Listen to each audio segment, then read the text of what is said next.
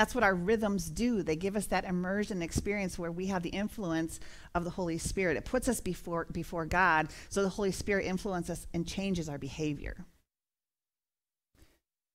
But the purpose of that changed behavior, let's be clear, it's not so that we get a gold star in our crown. It's not so that God can say, Oh, you are the poster child of a Christian. You've got it all right. Good job. You get a good behavior award. That's not why the Holy Spirit influences us to become and change our behavior.